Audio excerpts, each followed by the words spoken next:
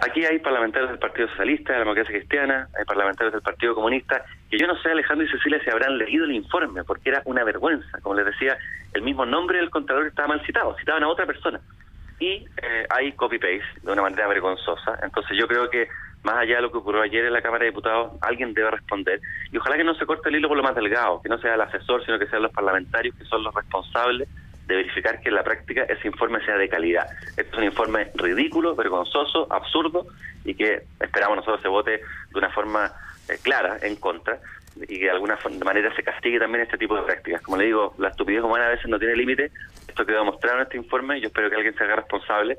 Además de que termine pagando las costas el diputado Gutiérrez, el ex profesor de la Universidad Arci, que, creo que es uno de los responsables principales también de este papelón. Pero en ese sentido, este tipo de informes de comisiones investigadoras, el diputado Felipe Ward, se encargan eh, con asesores internos, asesores externos, hay un pago de por medio, además de este copy-paste eventualmente, ¿podría haber mal uso de recursos públicos?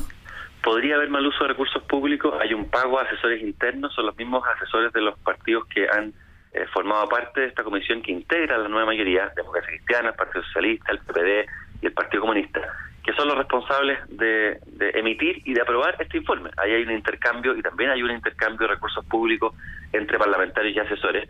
Yo tengo la convicción de que muchos parlamentarios ni siquiera leyeron el informe.